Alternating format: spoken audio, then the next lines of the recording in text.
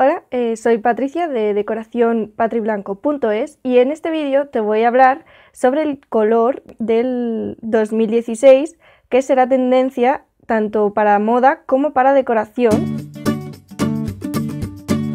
Como un año más, Fantón nos muestra cuál será la tendencia de esta temporada y esta vez nos ha sorprendido con dos colores en vez de uno.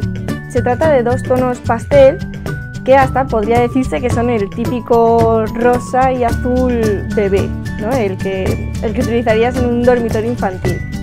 Se llaman Rose Quartz y Serenity. Estos dos colores juntos nos eh, transmiten paz, eh, relajación y nos ayudan a desestresarnos de la vida ajetreada de la ciudad. Eh, esto es porque el color rosa es un tono cálido y nos genera cariño y compasión. Y en cambio el azul es, es más un tono frío y nos refleja bienestar y, calma.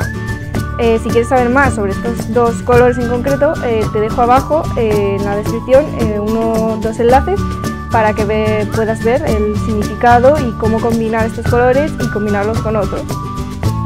Pantón, además, este año quiso romper contradicciones mostrando que este azul y este rosa ya no son el típico de niña y niño, que, esa asociación...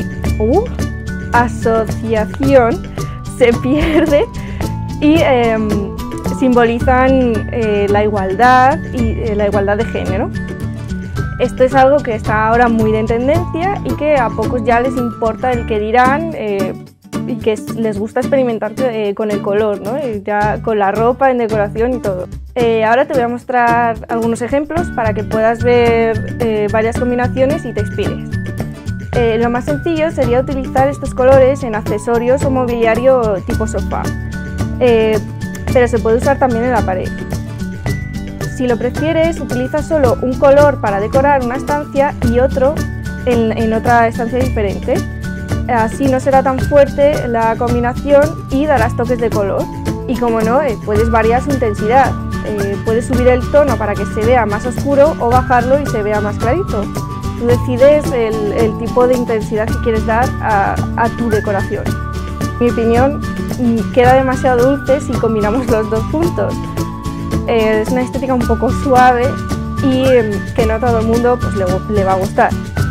Sin duda estos dos colores juntos eh, se ven un poco femeninos porque son muy pálidos, muy suaves. Entonces si, fuera uno de ellos más fuerte o brillante, pues, eh, mucha más gente lo utilizaría qué opinas de esto? Déjamelo saber en comentarios. Mi opción favorita sería usarlo en, pequeñas dosis. Creo que luce más y por tanto no hace el efecto chicle porque me gustan estos dos colores pero juntos mm, cuesta.